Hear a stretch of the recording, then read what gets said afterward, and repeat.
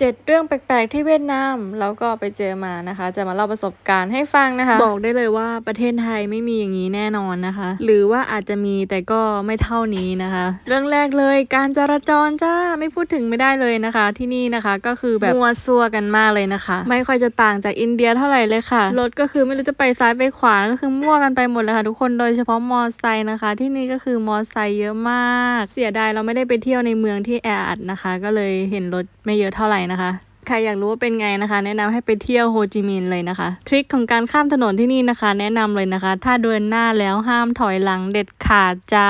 เรื่องที่สองที่แปลกสำหรับเรานะคะ ก็คือ คนเวียดนามเขาติดดินมาก อย่างร้านอาหารข้างทางอะเขาก็นั่งกินกับเก้าอี้เล็ก โต๊ะเล็ก ๆนะคะ เราว่าอันนี้มันอาจจะเกี่ยวกับที่ว่าเขาตัวเล็กด้วยก็ได้นะคะ เรื่องแปลกๆ เรื่องที่ 3 คนเวียดนามเขาชอบนั่งร้านกาแฟ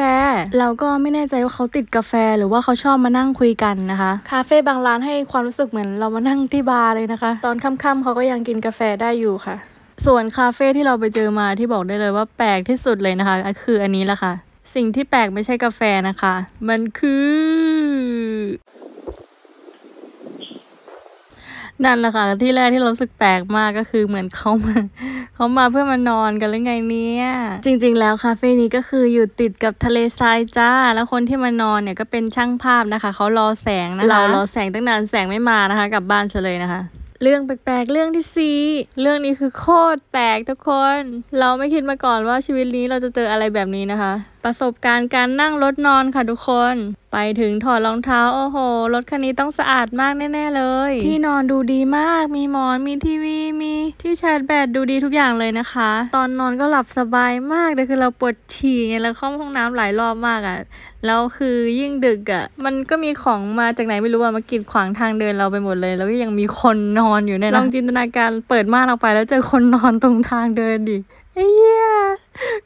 ตกใจอะตอนแรกที่พีคไปกว่านั้นนะ ตอนเราไปถึงแล้วอะแล้วกำลังจะเดินลงจากรถใช่ไหมเรานอนท้ายๆรถไม่มีปัญหาอะไรใช่ไหมเราเดินไปข้างหน้ารถอะโอ้โห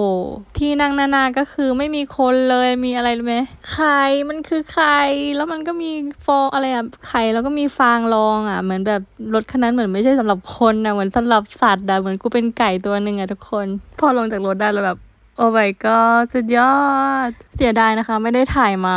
เรื่องแปลกๆ เรื่องที่ 5 เวลาไปกินข้าวที่ร้านอาหาร คนเวียดนามจะไม่ค่อยสั่งน้ำเรางงมากเลยนะคะ เราไปกินข้าวหลายรอบแล้วคือทุกคนก็ไม่สั่งน้ำอะไรกันเลยนะคะ เพราะอะไรคะ เพราะว่าเขามีน้ำชามาให้ค่ะ บางร้านก็เสิร์ฟบางร้านก็บริการตัวเอง แต่สำหรับเรามันก็แปลกไง เพราะว่าถ้าเรากินข้าวอะเราต้องมีน้ำเปล่าไง คือบางร้านที่ต้องบริการตัวเองใช่ไหมไม่มีใครมาเสิร์ฟน้ำเขาก็ไม่กินน้ำเลยนะเขากินแค่ข้าวแล้วเขาก็ลุกออกไปเลยนะคะเขาทำกันได้ยังไงอะงงมากจ้าเรื่องแปลกๆ เรื่องที่หกทุเรียน เป็นไปได้ไงนะคะ ที่ที่เวียดนามนะคะเขากินทุเรียนในโรงแรมได้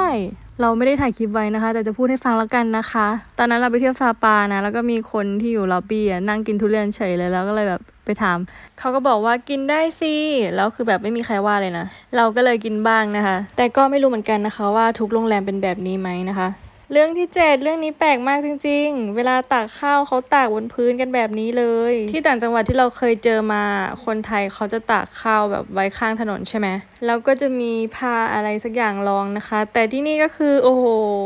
บนดินเลยจ้ะอันนี้คือแปลกมาก เพราะว่าเราไม่เคยเห็นจริง ๆ มีใครเคยเจออะไรที่แปลกกว่านี้ไหมคะ ยังไงก็คอมเมนต์มาได้นะคะ ขอบคุณทุกคนที่รับชมสวัสดีค่ะ